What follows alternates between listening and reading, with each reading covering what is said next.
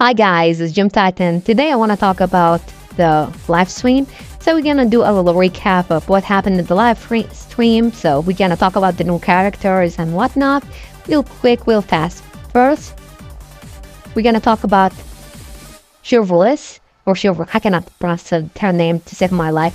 She's basically gonna be an overall support, and she's gonna decrease pyro and electro resistances. She's basically gonna be a hyper carry character like basically Sara.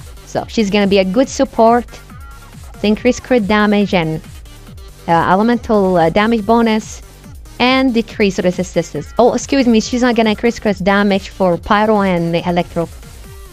And she's gonna heal and she can heal on field as well. So any active character on field.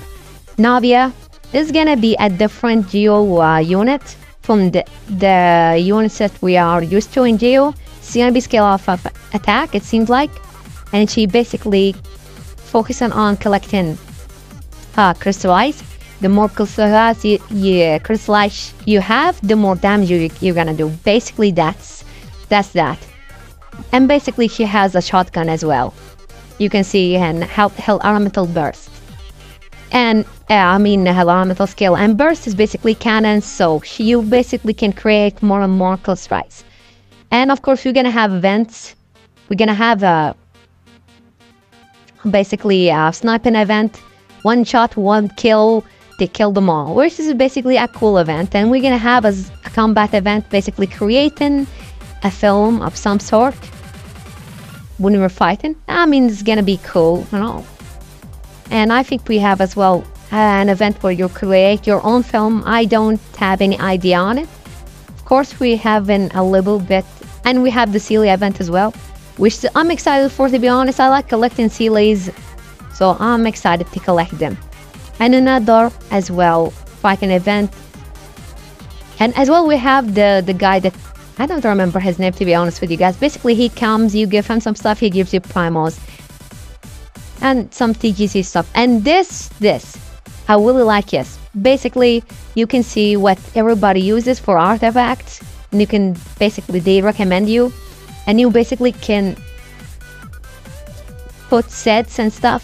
So you basically can choose whatever you want, and you will not be scared to delete it by accident or consume it by accident, which is I really like.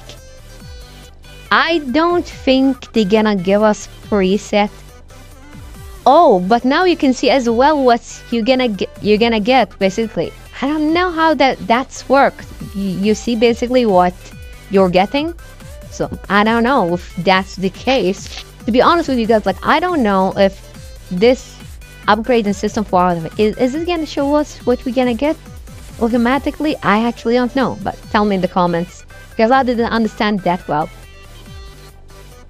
Of course, we have the new area as well, which, to be honest with you guys, I'm a little excited for the new area. Of course, we got the banners.